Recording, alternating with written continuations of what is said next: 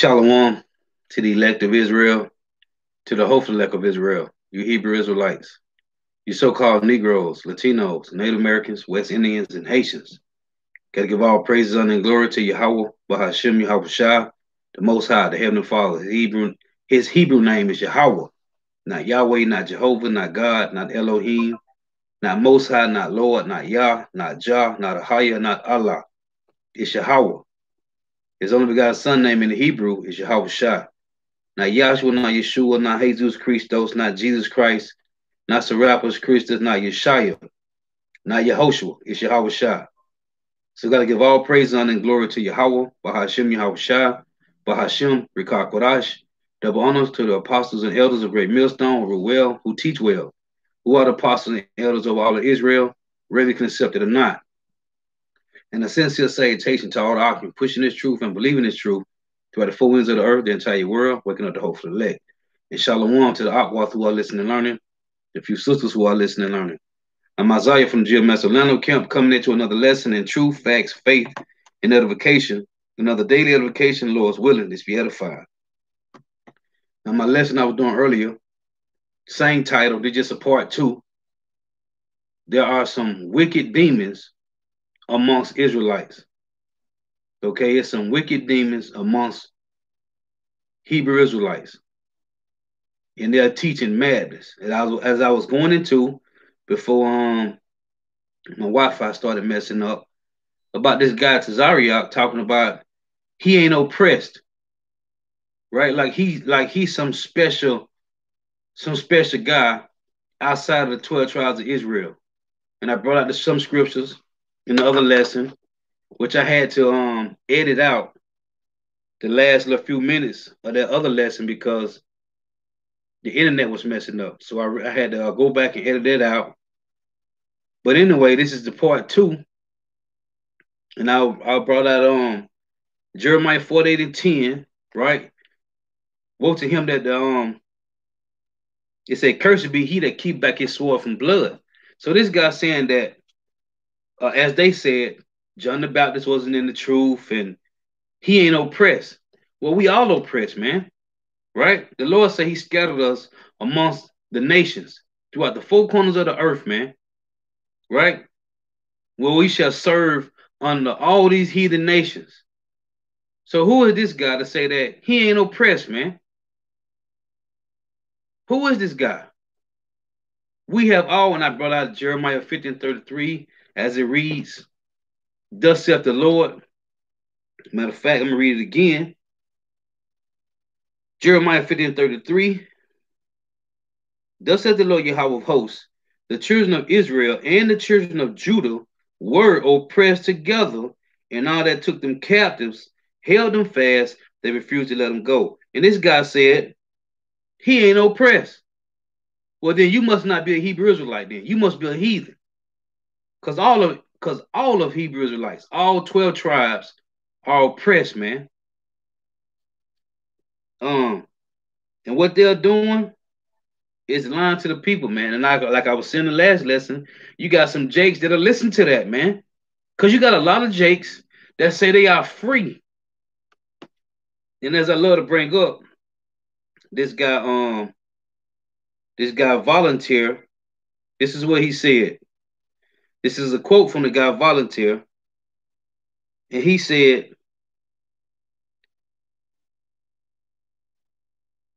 Oh, Salakia, wrong one. Not Voltaire. This guy, Wolfgang. This guy named um, his name is Johann Wolfgang. He said, None are more hopelessly enslaved than those who falsely believe they are free. None are more hopelessly enslaved than those who falsely believe they are free. And you got these, you got these Yah Israelites talking about the 400 years of slavery, right? And that was last supposed to supposedly uh 2019 August, August the 20th, August the 19th, 2019. We supposed to been 400 years of slavery supposed to been up. Man, that's talking about Egypt, man. That had nothing to do with here. So you got these two-third bug outs talking about they free, man. We ain't free. But the Lord said, Micah 2 and 10, arise ye and depart, for this is not your rest. It will destroy you, right? Meaning spiritually come out of this place, man. Like I say in Jeremiah 51. Spiritually come out of this place. But we are not free, man. You can't just leave America without having a, some type of um, passport. And if you be gone out of America too long, if you be gone too long, you're gonna get violated, man. We are not free here. And all of Israel is oppressed, all 12 tribes. This is um Psalms. And that guy's bugged out, man. That guy's bugged out. This is Psalms 107. And we'll start at verse 2. It reads, Let the redeemed of the Lord Yahweh say so, whom he hath redeemed from the hand of the enemy, and gathered them out of the lands from the east and from the west, from the north and from the south. That's the four corners of the earth, man. All four corners of the earth, man. And in between. And gathered them out of the lands from the east and from the west, from the north and from the south. They wandered in the wilderness in a solitary way. Well, Babylon the Great, and all the islands around the world, uh, South and Central America, they found no city to dwell in, right? Because we ain't in our city, man. We ain't in our land. Verse 5 say, hungry and thirsty, their soul fainted in them. Then they cried unto the Lord Yahweh in their trouble, and he delivered them out of their distresses. Right? When you read Isaiah um 19, which I'm going to read, he led them forth by the right way, that they might go to a city of habitation. We're not in our we're not in our city, man. We are serving amongst our enemies, man. Right? We are uh heroes of wood and drawers of water, man. Heroes of wood and drawers of water, man. Well, in the land of our enemies, man. Isaiah. So reading this again, Psalms 107. Let's read this again. Psalm 107 in verse 6. It says, Then they cried unto the Lord Yahweh in their trouble, well, in the land of our captivity, and he delivered them out of their distresses. This is Isaiah 19 and 19. It reads, In that day shall there be an altar to the Lord Yahweh in the midst of the land of Egypt. Was Egypt, Babylon the Great, and a pillar at the border thereof to the Lord. What's the pillar that's at the border? It's talking about the men's in the highways and byways in the chief places of the cities, man. Okay, that's what it's talking about. And a pillar at the border thereof to the Lord Yahweh.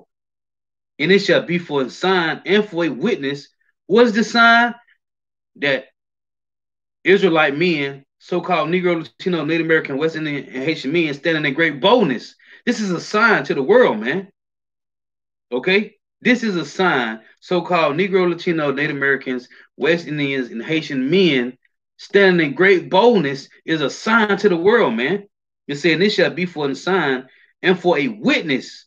Why is it a witness? The Lord said, and when you read in um Isaiah 43 and 10, that we are his witnesses, man. It say, and it shall be for a sign and for a witness unto the Lord Yahweh of hosts in the land of Egypt, for they shall cry unto the Lord Yahweh because of the oppressors. What is this guy talking about, man?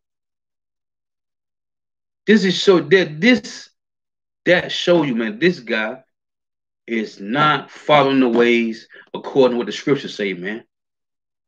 They are not, man.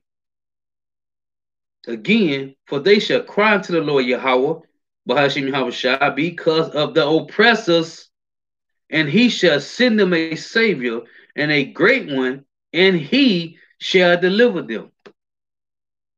Back in Psalms 107. These are cuts to this guy, man.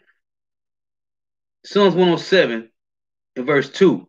Let the redeemed of the Lord Yahweh say so, whom he have redeemed from the hand of the enemy and gathered them out of the lands from the east and from the west, from the north and from the south.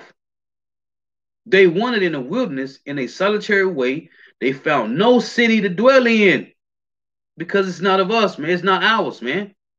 Hungry and thirsty, their soul fainted in them. Then they cried unto the Lord Yahweh in their trouble, and he delivered them out of their distresses.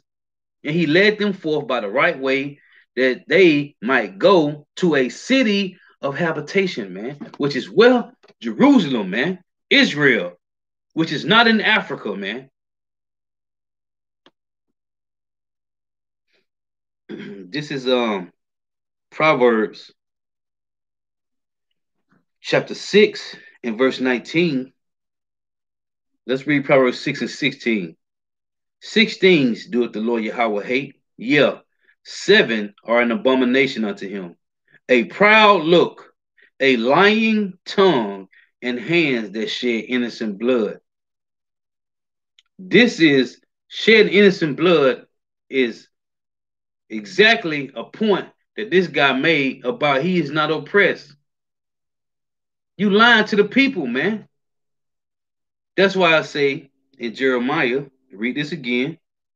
Jeremiah 48 and 10. Cursed be he that doeth the work of the Lord deceitfully, and cursed be he that keepeth back his sword from blood. What he's doing to the congregation is shed innocent blood, man, by lying. You keeping back your sword from blood, that's you literally, actually shedding innocent blood to the people, man, because you lying to them. Back in Proverbs 6, 17 reads, A proud look and a lying tongue and hands that shed innocent blood. Now you got literal hands shed innocent blood, and you got ones that speak lies, man. You destroying the people, man. Right? As I tell you in Jeremiah um 5, they judge not the cause of the fatherless. This what you doing, man.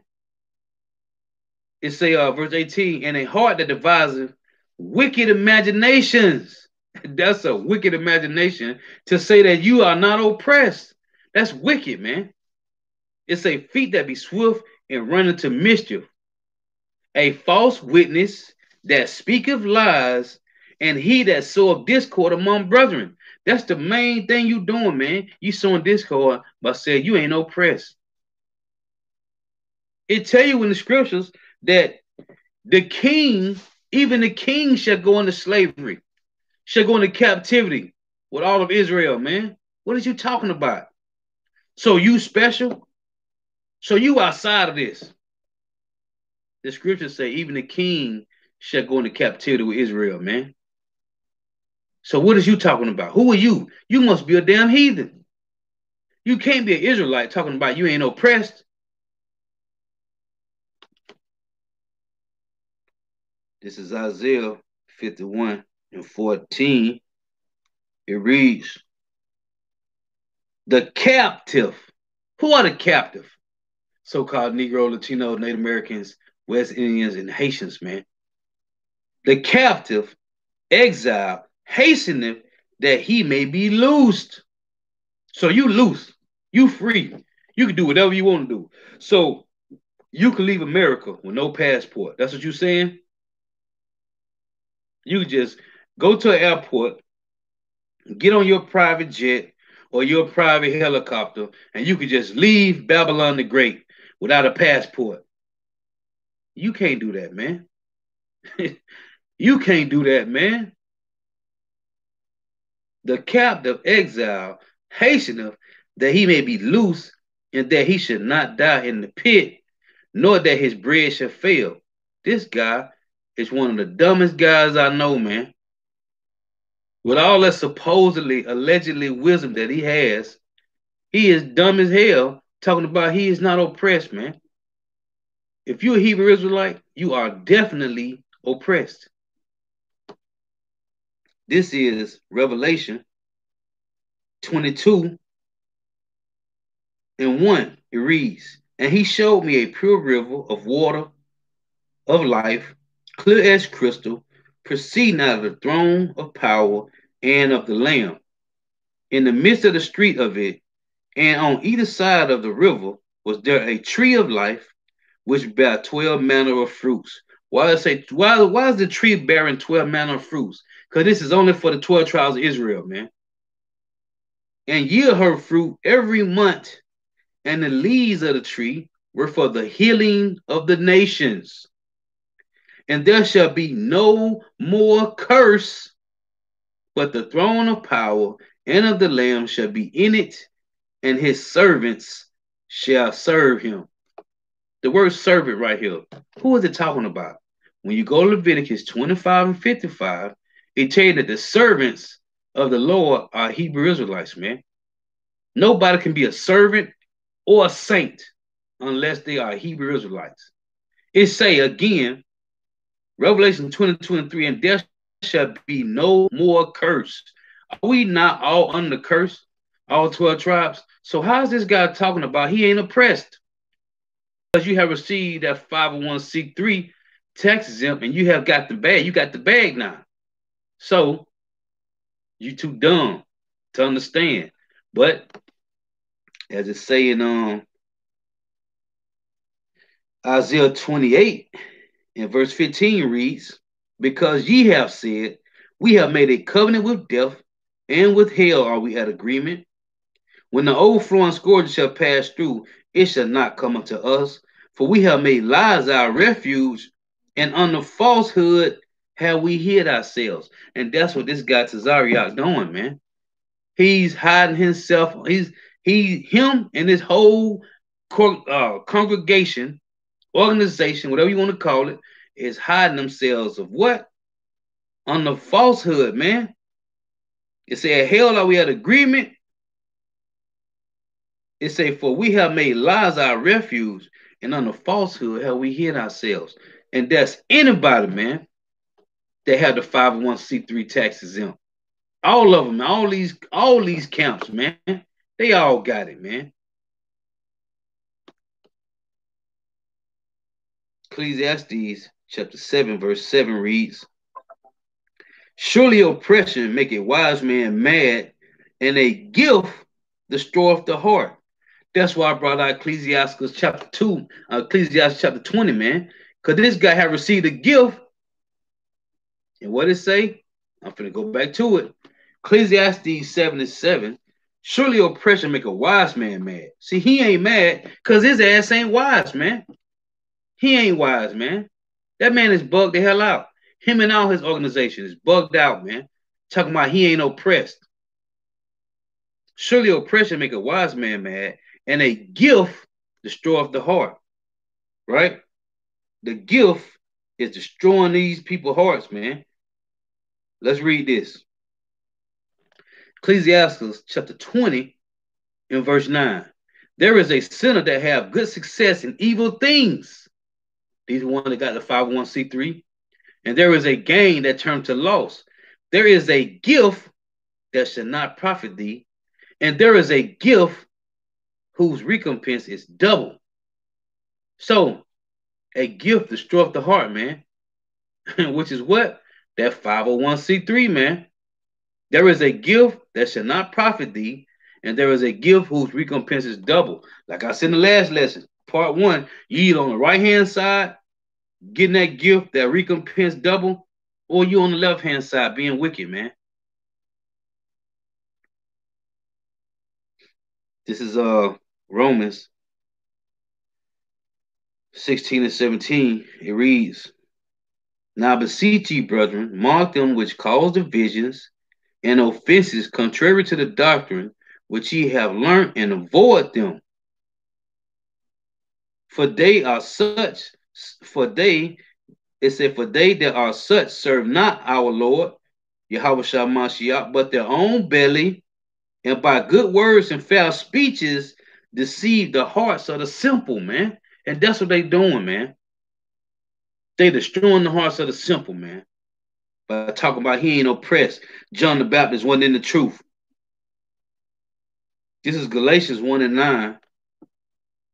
As we said before, so, so say I now again, if any man preach any other gospel to you than that ye have received, let him be accursed, man. The apostles never said we ain't oppressed, nor the elders, man. Never said that we ain't oppressed, man. Where the hell is God coming from with this madness?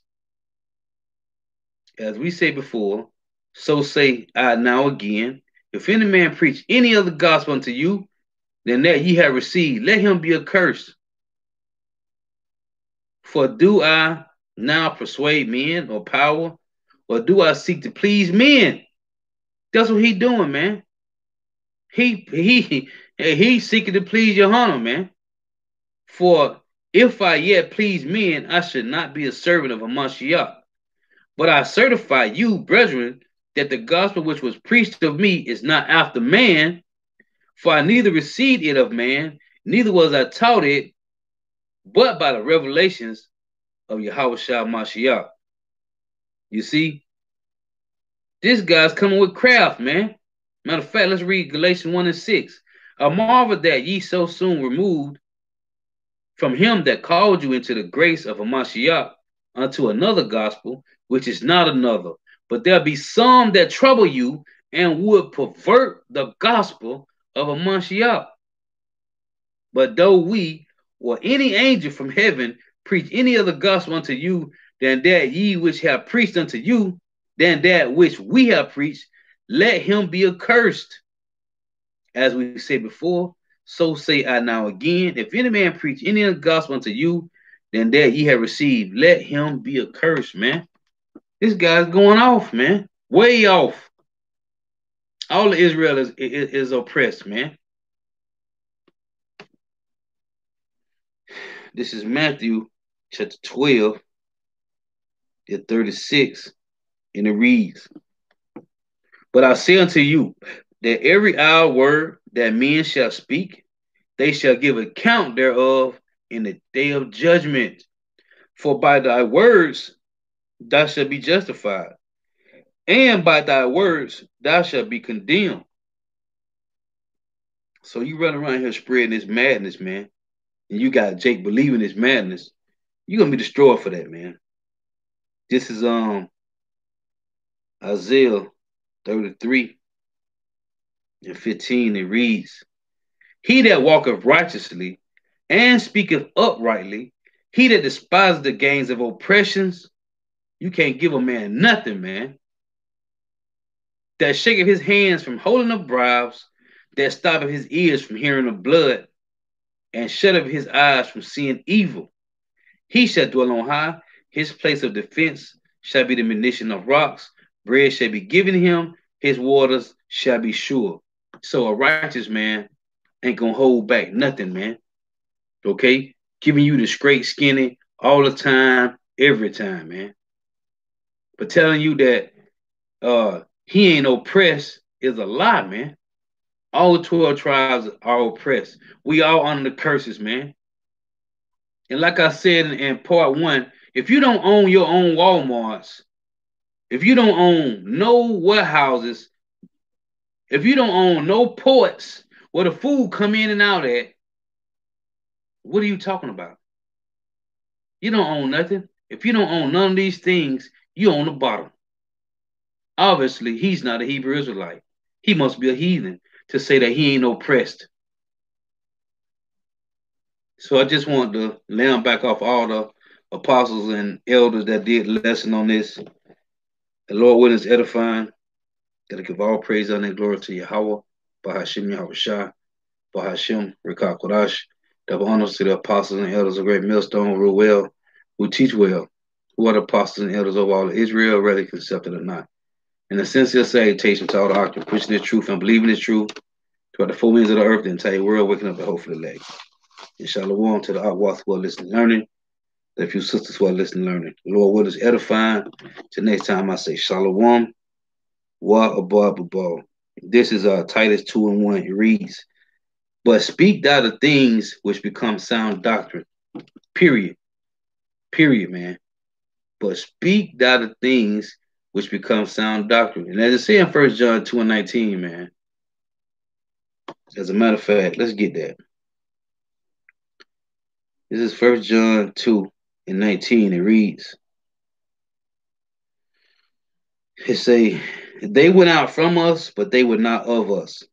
For if they had been of us, they would no doubt have continued with us. But they went out that they might be made manifest that they were not all of us, right? Oh, let's get this. Second John 1 and 10. It say, If there come any unto you and bring not this gospel, receive him not into your house, neither bid him Godspeed. For he that biddeth him Godspeed is partaker of his evil deeds. You see? Oh, I got to get this. Ephesians 5 and 6. Let no man deceive you with vain words, for because of these things cometh the wrath of power upon, upon the children of disobedience. You see, be not ye therefore partakers with them, for ye were sometimes darkness, but now are ye light in the Lord, walk as children of light, and have no fellowship with the unfruitful works of darkness, but rather reprove them, man. You see? Bug outs, man. Devils. Shalom.